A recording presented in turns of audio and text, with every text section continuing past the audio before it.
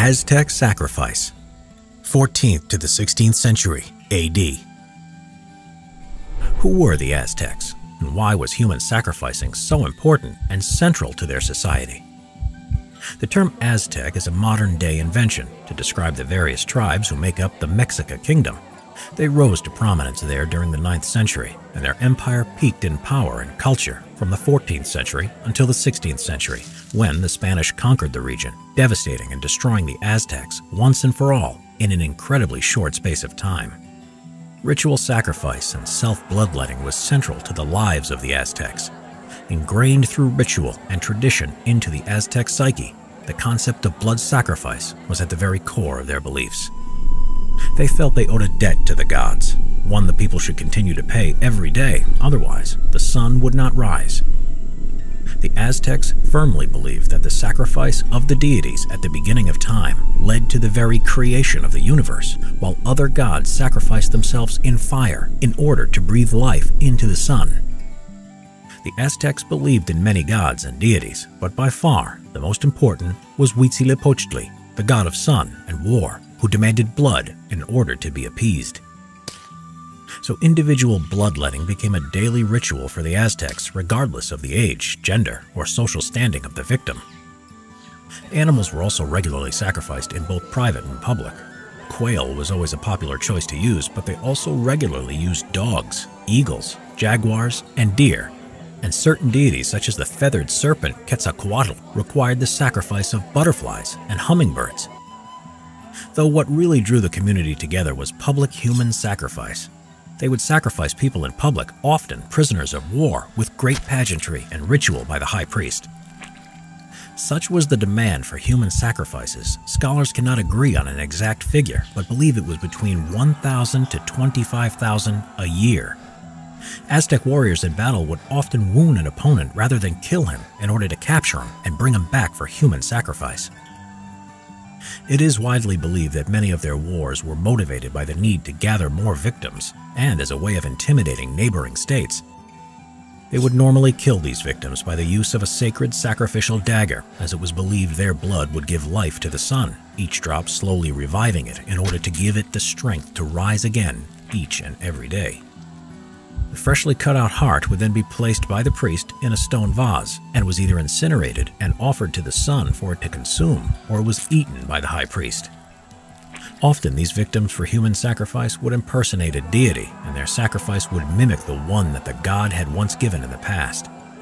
They were dressed up and acted like the chosen deity and were treated by others very highly, like they were celebrities. Their title was seen as a true honor, and after they had been executed, their body parts were eaten by the people, often the ruling class, in order to please the gods even further. One particularly gruesome ritual would see prisoners of war dressed up to look like various gods, who would then be sacrificed, have their hearts cut out, and their skin flayed from their dead bodies. Their skins would then be worn by the priest as a costume to represent the deity. The festival being held determined how the sacrificial ceremony was carried out, as the Aztecs were a complicated people with an advanced social culture. A common thread throughout these sacrifices was that the heart of the victim would be cut out and the still pulsating organ would be held up high for all to see. At the very center of the Aztec religious world was the Great Temple, which was an impressive pyramid with twin shrines on top, one for Tlaloc, the god of rain, and the other for Huitzilopochtli, the god of war. It was situated in the Aztecs' capital city of Tenochtitlan, which is New Mexico City today. Here, countless human sacrifices were carried out by the high priests. Normally, the heart of the victim was ripped out, and then the corpse was beheaded, dismembered, and then the lifeless body was thrown down the steps of the temple to fall 180 feet to the base of the pyramid below. The heads of the sacrifice were then put on skull racks at the base of the temple.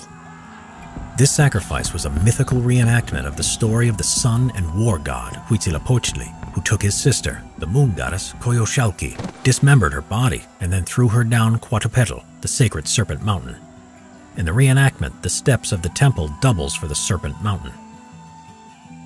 Most sacrifices at the Great Temple were prisoners of war or slaves, but also children were sacrificed as their tears were deemed to be linked to Tlaloc, god of rain. These traditions went on for hundreds of years until March 1519 when a Spaniard by the name of Hernan Cortes, heading a small expedition, invaded the Aztec Empire. Within two years, the Aztec Empire had crumbled, conquered by the Spanish, and its population decimated by smallpox. With this and the arrival of Christian missionaries and their powerful backers, many of the Aztec ways and rituals of human sacrifice were confined to the pages of history, once and for all.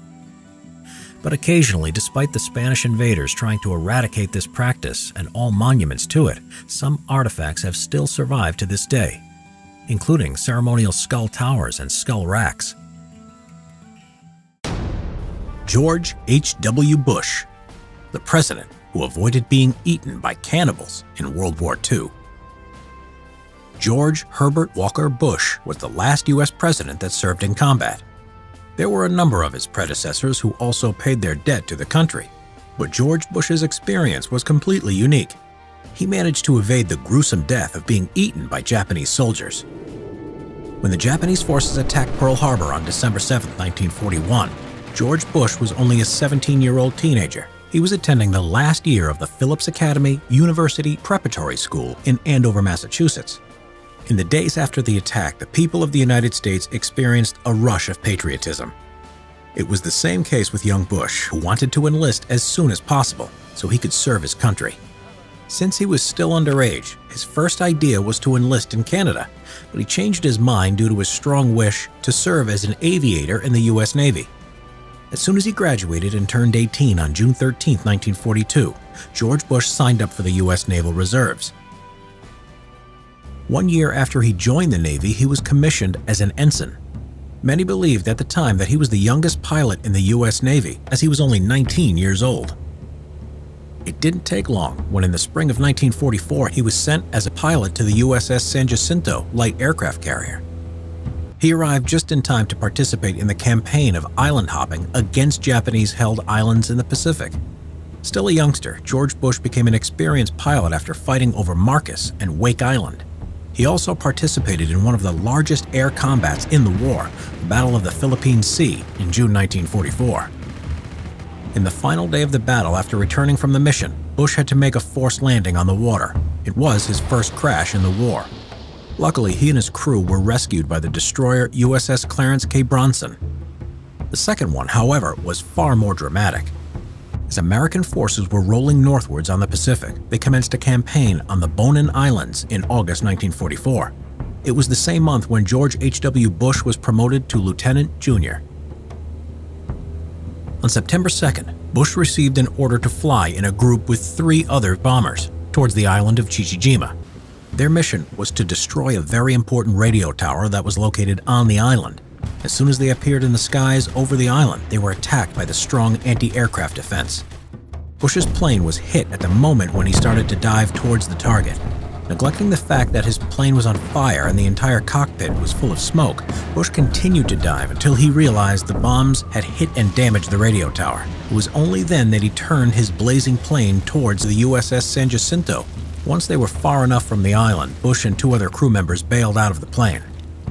As he was descending, Bush observed his plane hitting the water and disappear into the waves. Moments after, as he hit the water, his struggle began. With a heavy, soaked flight suit, wounded head, and eyes still burning from the smoke in the cockpit, Bush had to fight to stay on top of the water. His fortune was that he landed in the vicinity of a life raft. When he got a hold of it, he inflated it and climbed aboard. The misfortune was that the winds were pushing him closer towards the Japanese-held island, so Bush had to paddle with his arms to stay as far away as possible. At one point, he was spotted by the Japanese who sent boats to capture him, but these were repelled by American fighter planes. For four hours, George was floating in his raft as fighter aircraft were flying above his head to protect him. Finally, he was rescued by the lifeguard submarine, USS Finback, Several other airmen were shot down and also escaped by bailing out, but they would not be so lucky.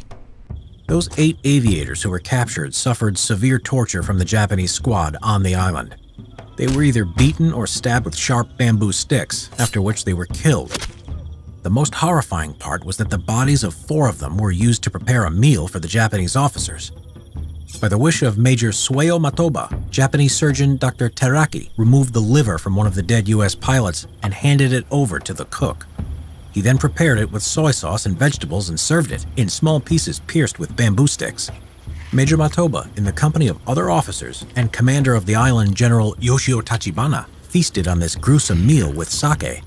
They believed it was good medicine for the stomach. The same feast was repeated with the body parts of three of the other aviators. At the time, Bush knew nothing about this crime that was kept secret even though the executors were eventually trialed in 1946. It was not until 2003, in the study published in the book Flyboys, A True Story of Courage, that George H.W. Bush and the entire public learned of the terrible destiny of the captured airmen. In November 1944, Bush returned to the USS San Jacinto and continued to fight over the Philippines.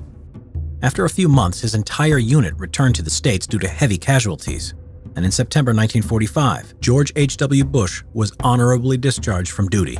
Even though he flew 58 combat missions, had 126 carrier landings, and 1,228 flight hours, the mission over the island of Chichijima was one that earned him the Distinguished Flying Cross.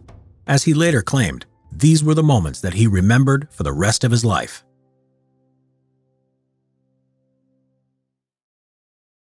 How you survived the real-life battle royale of Nazino Island. 1933. If you're not yet familiar with this horrifying story, here's a brief overview. It was a failed Russian penal colony set up by the Soviet authorities to house undesirable minorities, political prisoners, rich landowners, petty and hardened criminals, and basically anyone caught disobeying the regime. It was located on a small uninhabited island on the River Ob in the remote and barren wilderness of western Siberia. This was an extremely short-lived project, closing down just a month after it opened in May 1933. So, could you have survived a month in this chaotic hellhole? Well, your odds of surviving this ordeal are going to be about 1 in 3, so thousands of you are going to die before the project is over. And even then, survivors will at the very least be severely malnourished, traumatized, and mentally scarred from life. As the sad reality is that many of you had murdered and eaten other participants in order to survive. At the end of it all, there is no cash prize or early releases, just a transfer to a settlement colony or a gulag to endure years of further misery.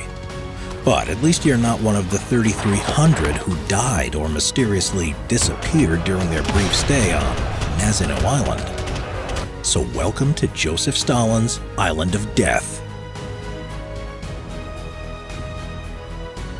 Challenge 1 The Boat Trip of Doom you have to survive the four-day, 500-mile journey to the island. On this trip by boat, you were given one thin blanket and a meager daily ration of just five slices of bread a day, which is less than 5% of the recommended daily caloric content that an adult needs, so you're already starving to death. Survival tip. Keep a low profile and figure out who's best to team up with. If you have anything of value, trade wisely, as what meager resources there are will only go up in value in the coming weeks. The items you should be looking for are a knife and matches. They'll soon be crucial to your survival. Death rate. 1 in 20 of you did not survive the journey here. Remaining prisoners? 95% of the original settlers are still alive and will go on to the next stage. Challenge 2 the Anarchy segment. With only a handful of poorly trained and under-equipped guards, law and order will quickly break down on the island. The guards will therefore retreat to the tip of the island with what little stores there are. Now, for the prisoners, this whole ordeal will become a case of survival of the fittest. Survival tip. Anyone that you're forced to kill or who just dies, remember, don't forget to remove anything useful from them before anyone else does, such as gold teeth or fillings, as these will be useful to barter with and to bribe the guards with for flour. Death rate Around 1 in 20 of the prisoners will die from gang-related violence before this is all over. Remaining prisoners 90% of the original prisoners are still alive, but that number will drop dramatically with each passing day. Challenge 3 Surviving the Cold. The battle to survive the extreme cold will become a constant struggle, where even the daytime temperature on the island will rarely be above freezing, especially as there's over 5,000 of you on this swamp-filled island. That's just one square mile in size. The prisoners end up burning hundreds of the few trees that were available each day just to keep warm, with none to spare to build any kind of rudimentary shelter. Within weeks, the island is suffering from severe deforestation, and wood, along with food, are now the most precious commodities on the island. Survival tip Always be foraging for timber, as your fire cannot be allowed to go out as you may not have the means to ever relight it again. Strip the dead of any useful and dry clothing, burning anything useful as potential fuel like dirty underwear and hair. Also, make it a priority to try to keep your hands and feet warm and dry, or frostbite will set in in no time at all. Not an easy thing to do on a freezing cold, swampy island. Death rate. Around 1 in 10 of the prisoners will succumb to the freezing cold, as well as hundreds who will get frostbite, losing fingertips and toes, and often leading to deadly gangrene and blood poisoning. Remaining prisoners. 80% of the original prisoners are still alive, but living conditions are unbearable, and all food and natural resources have been totally exhausted. Challenge 4 The Invisible Killer. Soon, the island will be gripped by typhus and dysentery due to poor sanitation and contaminated drinking water. Symptoms include bloody diarrhea and projectile vomiting. This will prove particularly deadly as by now most of the prisoners have a weakened immune system due to malnutrition and hypothermia. Also, avoid wading through the island's many swamps as they contain numerous nasty parasites and are infested with mosquitoes. Survival tip. Avoid drinking the river water or the snow at all costs unless you can boil it. Try to collect rainwater if you can, as it's your safest source of water. Death rate. Around 1 in 10 of the prisoners will die of a variety of highly infectious diseases. It's not helped by the fact there's absolutely no medical facilities or treatments available on the island. Remaining prisoners Around 70% of the original prisoners are still alive, but ill health is now rampant all across the island. Challenge 5 Escape is futile. You may decide to try to escape in order to get away from all this misery, though this may at first seem like an easy option, as the 40 or so guards don't bother patrolling the perimeter of the island, especially as many of them have no proper coats or boots themselves. But if they realized that you were attempting to escape, then they would just shoot at you for sport. First of all, you would have to get across the few hundred feet of freezing cold and fast-flowing river that separates you from the mainland. And you don't have the luxury of building a trustworthy raft, as you have no proper tools whatsoever, and timber is now in extremely short supply. Nevertheless, many tried and hundreds drowned in doing so. If you did get across, you would have to travel hundreds of miles across a frozen wasteland to find the nearest civilization, enduring temperatures below freezing and savage, prolonged blizzards. Also, beware of the inhospitable wildlife that includes aggressive brown bears, snow leopards, ravenous packs of wolves, and deadly Siberian tigers, all of whom want to make you their next meal. Sadly, there are only a few species for you to hunt, like the Arctic hare and the vicious-looking musk deer, both of which are incredibly fast and almost impossible to catch. Survival tip. Frankly, don't even try to escape, as the odds are stacked up against you. There are no records showing that anyone has ever made it to safety. But if you must try to escape, find a couple of dead, bloated bodies. There will be many to choose from as the island's shoreline is littered with dozens of them. Find some that still have any kind of body fat on them. Cut it off and smear it all over your clothes in order to make yourself a bit more waterproof. Then use a couple of other really bloated bodies as flotation devices to get across the river. Note, you now have a new problem. You are now safely on the mainland, smeared in dead human fat, but there are natural predators prowling around with their heightened sense of smell. Death rate. Around 1 in 10 of the prisoners will die desperately trying to escape the island. Remaining prisoners. Around 60% of the original prisoners are still alive. Challenge 6 Slowly Starving to Death. The real killer round has arrived. After the very first week, you have already used up all of your body fat, so it's now crucial that you find food. If you don't eat every few days, you will not have the energy to stay warm or even move around. Then you are as good as dead. The small supply of flour that was brought with your group is almost gone. Also, the island has already been picked clean of any nuts and berries, and any root vegetables have all but gone. And the rat population on the island will all be consumed in the next few days by the thousands of equally hungry and desperate settlers. Also, fishing in the fast flowing river is difficult, especially as you have nothing to make improvised fishing equipment with. So, your body is already entering the phase where it's breaking down muscle tissue to produce much needed energy.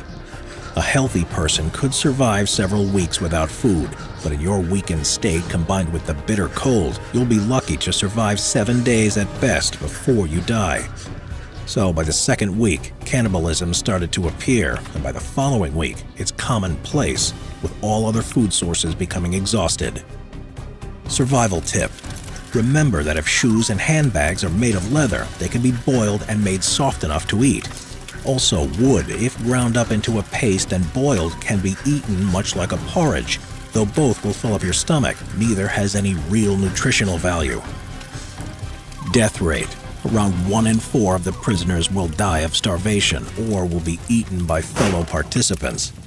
Remaining prisoners Around 35% of the original settlers are still alive at the end of the four week challenge, though over 3,300 are dead or missing.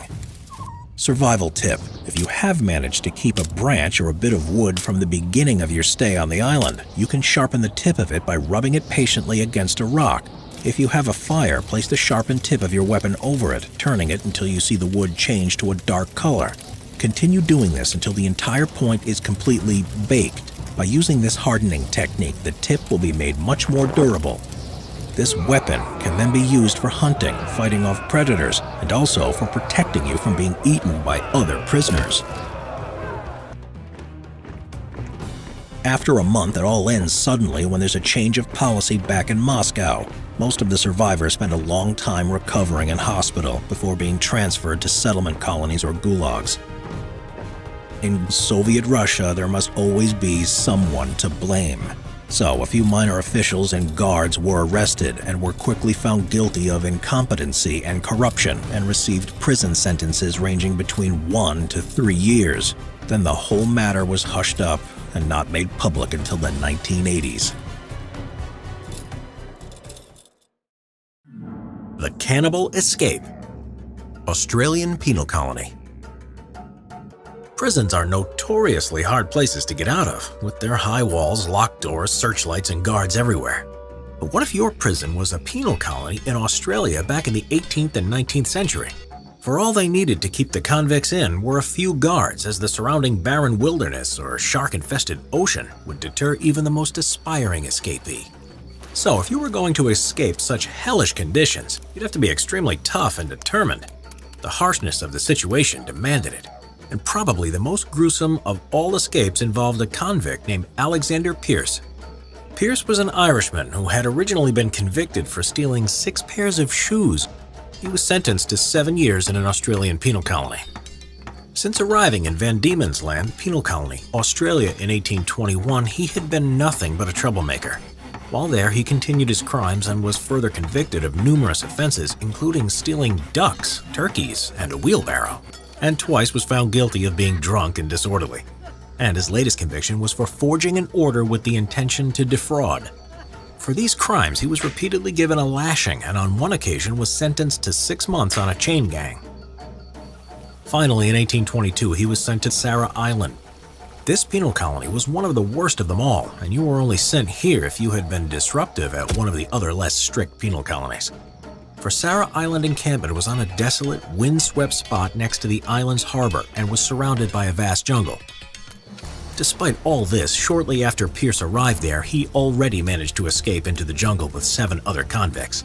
The escapees headed towards the settlement of Hobart, 90 miles away, but after 15 days they were hopelessly lost and hadn't eaten for days, so the group felt they had no choice but to resort to cannibalism. The first victim was an easy choice for the men, Alexander Dalton was an unpopular member of the gang because back in the penal colony, he volunteered as a flogger where he whipped the other convicts. Deranged with hunger, Robert Greenhill grabbed an axe and smashed it into Dalton's skull. The gang then feasted on his organs and flesh.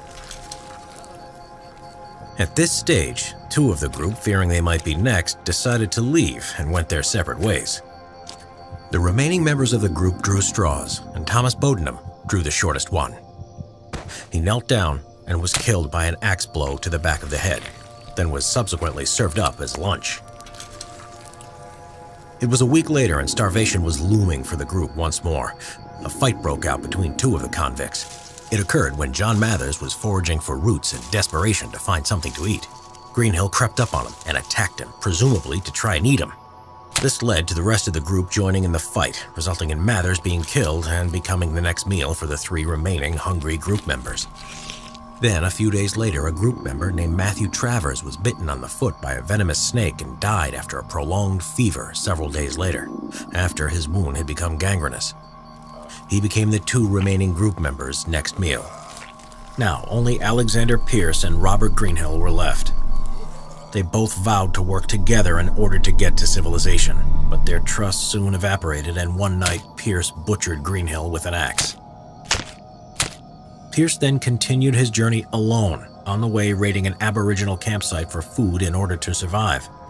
Finally, he reached civilization and soon ended up falling in with a gang of sheep rustlers. But after nearly four months on the run, Pearce was recaptured and consumed with guilt, confessed to the murders and the act of cannibalism. But such was the disbelief of his story that the authorities simply didn't believe him and sent him back to serve an extended sentence on Sarah Island. This might have been the end to the story, but a few years later in 1824 he escaped again with the help of a fellow convict, a young man named Thomas Cox. A few weeks later, further down the coast, a ship stopped to investigate a beach fire and found Pearce eating him. Pearce ended up confessing no less than three times to his crime of cannibalism before his execution. Once to the magistrate, then to the base commander, and lastly the night before his execution to a priest. Each time the details differed slightly, but the overall message was always the same. He had killed or taken part in killing his fellow escapees and ate their bodies. It was said he showed some remorse for having done these wicked deeds. Subsequently, he was convicted of murder and cannibalism. He was hanged for his crimes on July 19, 1824. There is no record of what he requested for his last meal. Elizabeth Bathory, the countess that bathed in the blood of her victims. Hungary, 16th and 17th century. In Hungary, 1514, the Dózsa Rebellion, a bloody peasant revolt led by a nobleman called Georgi Dózsa, nearly succeeded in overthrowing the country's aristocracy. After this failed rebellion, the aristocracy needed to maintain their grip of power, so they passed a series of laws giving them unlimited control over the people. To set the example, severe punishments were handed out to the revolt's leader. Dózsa was forced to sit on a boiling hot iron throne like chair and wear a red hot iron crown while grasping a scorching royal scepter until he died from burns and shock. So when the Countess Elizabeth Bathory was born on August 7, 1560, she was born into a world where the nobility had absolute power over their people. She would be the product of inbreeding between Baron George Bathory and Baroness Anna Bathory. Elizabeth had three siblings, one brother and two sisters. Her family was one of the wealthiest and influential in the kingdom, ruling Transylvania as a virtually independent principality. The Countess grew up to be well educated with a good understanding of mathematics, as well as learning to speak fluently in four languages her native Hungarian, as well as Latin, Greek, and German. She was engaged at a very early age to the son of an influential baron, who she then later married at the age of 15. It is said around 4,500 people attended the wedding. Elizabeth received Kachicha Castle, a 13th century fortification situated in what is now modern day Slovakia, as a wedding gift from her husband. The couple had at least five children, but only three survived infancy. Her husband, Count Ferenc Nadasdy, nicknamed the Black Knight of Hungary, was now a general and was often away fighting in the Ottoman Empire. His military career was highly successful, and in time he rose to the rank of chief commander of the Hungarian army. It is said that Nadasdy, like Vlad the Impaler, who was the inspiration for Dracula, liked impaling Turkish prisoners alive on giant wooden stakes and then enjoying watching them die a slow, painful death. In 1601, the Count was struck down by an unknown disabling disease, and three years later, at the age of 48, succumbed to the illness and died. He and the Countess had been married for nearly 30 years. Shortly after her husband's elaborate grand funeral, Elizabeth went on and did something quite odd. She took a trip to Vienna for an extravagant shopping trip and spent a vast fortune on the finest clothing for her and her servants. After her husband's death, Elizabeth went against Hungarian tradition, where the convention was that the widow retires from public life for a year and mourns quietly in private. She was a public figure, getting involved in anti Habsburg politics, and tried to collect debts for six years owed to her husband and herself from the Vienna court. And though she was now the head of a family of great status and privilege, dark rumors had started to circulate about other aspects of the Countess's behavior. Over the next few years, allegations of the Countess's atrocities became increasingly serious and spread throughout the kingdom. Even a Lutheran minister called Istvan Magyari complained about her behavior to the royal court, but was ignored.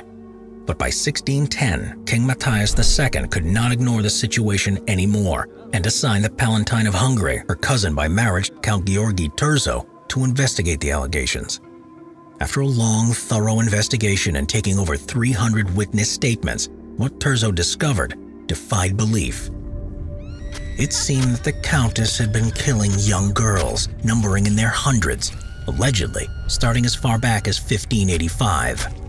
She was arrested later that year, and there was also physical evidence to support her alleged crimes.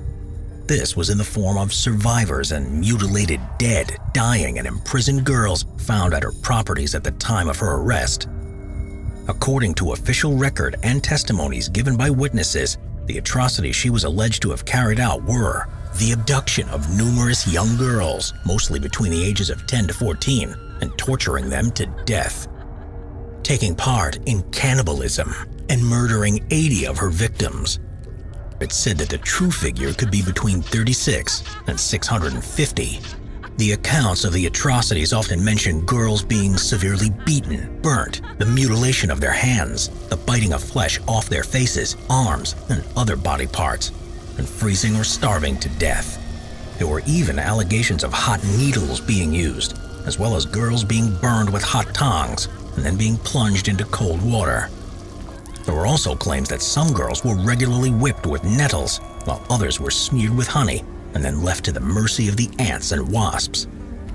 There were infamous vampiric stories of the Countess drinking and bathing in the blood of her virgin victims to retain her youth. These accusations were recorded many years later and are therefore less reliable. The Countess was promptly put under house arrest and soon afterwards put on trial but the trial never concluded. Even though King Matthias wanted the Countess found guilty and then sentenced to death, Thurzo convinced the king that such an act would adversely affect the standing of the nobility in the country. Due to political reasons, the trial was abandoned and the Countess was placed in solitary confinement in her castle. The maids who assisted her in conducting those murders were not so lucky. They were convicted and executed for witchcraft. The Countess was kept bricked up in a set of rooms within the castle, with only small slits left open for ventilation and the passing of food. Thurzo was to note in his journal that she would suffer solitary confinement without light and without crucifix. She remained there for three years until her sudden death on August 21, 1614, at the age of 54. Some people think she was set up, as the king and many others owed her large sums of money. Therefore, discrediting her in such a manner was an effective way of getting out of paying their debts to her. Many relatives were envious of her wealth, and as she was relatively young, they felt that they might never get their hands on the inheritance in their lifetime.